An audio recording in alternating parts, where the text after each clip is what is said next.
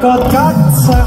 그때 온 세상이 가린 친구가 있었으니 친구가 있었으니 건반처럼 생긴 너로이 수많은 조명들이 나 빠르게 번갈아가며 비추고 있지만 난 아직 조절한 마냥 one.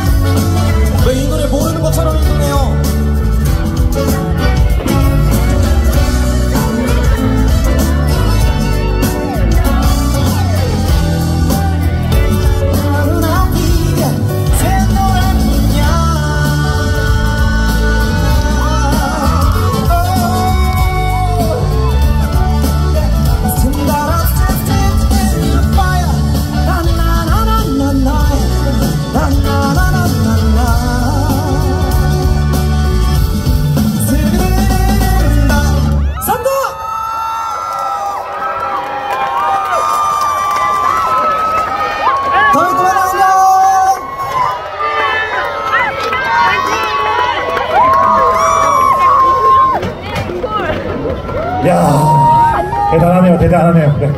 다시 한번 이문진 씨에게 뜨거운 박수 부탁드리겠습니다.